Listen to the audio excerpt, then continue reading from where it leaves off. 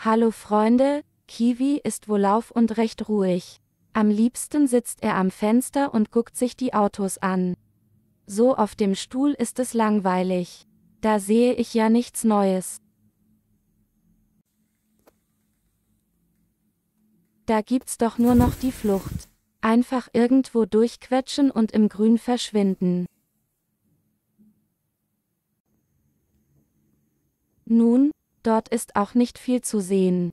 Nur Grün in Grün. Ich probiere mal, wie das Blatt schmeckt.